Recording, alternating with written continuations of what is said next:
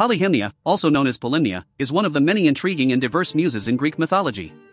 According to ancient Greek beliefs, she is the muse of sacred poetry, sacred hymn, dance, and eloquence. Additionally, she is associated with agriculture and pantomime, making her a multifaceted and fascinating deity.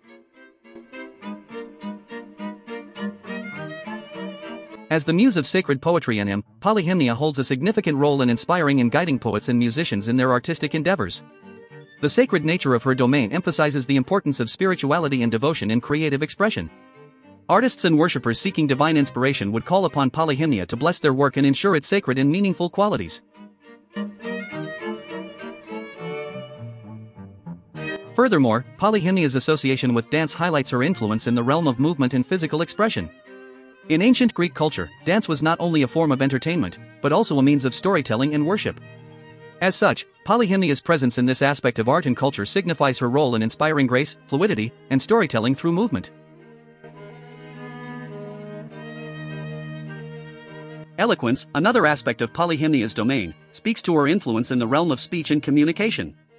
In Greek mythology, eloquence was highly valued, and individuals who possessed the ability to speak persuasively and convincingly were often revered.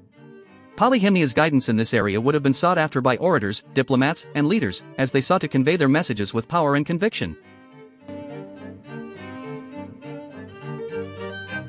The association with agriculture adds another layer to Polyhymnia's character, as she is linked to the cultivation of the land and the bounty of the earth.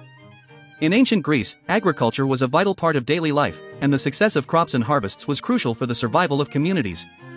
Polyhymnia's presence in this sphere suggests her role in blessing the earth and ensuring its fertility, as well as inspiring reverence for the natural world and the cycles of growth and abundance. Pantomime, a form of performance that utilizes gesture and movement to convey stories and emotions, is also within Polyhymnia's domain.